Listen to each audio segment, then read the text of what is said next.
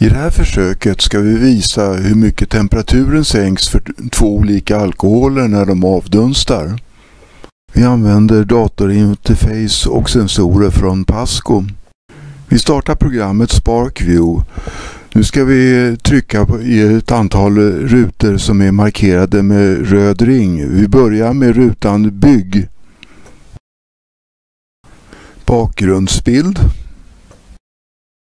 Här väljer vi hur mätvärdena ska visas, i det här fallet ett koordinatsystem. Här väljer vi en mätning, i vårt fall ska vi välja temperaturmätning. Här väljs mätning. Här väljs temperatur 1. Vi lägger till en y-axel för den andra temperaturmätningen. Nu ska vi lägga till en sensor till och därför klickar vi på mätning. Och här väljer vi temperatur 2. Nu är vi nästan klara och trycker på OK.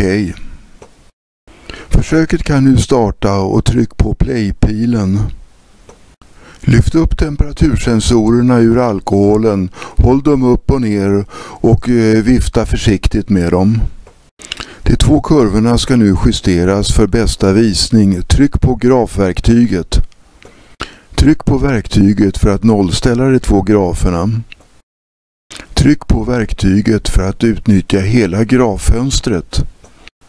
Välj kurva 1 och textverktyget för att skriva in metanol. Välj sedan kurva 2 och textverktyget för att skriva in etanol.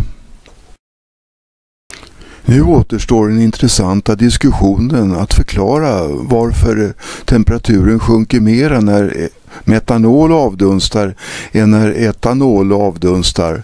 Detta gör man givetvis med utgångspunkt från de kemiska bindningarna mellan molekylerna. En mycket intressant diskussion kommer att följa.